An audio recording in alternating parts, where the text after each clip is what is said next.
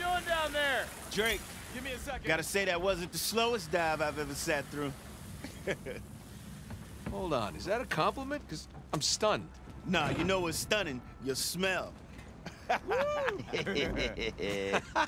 don't know, man. I kind of like it.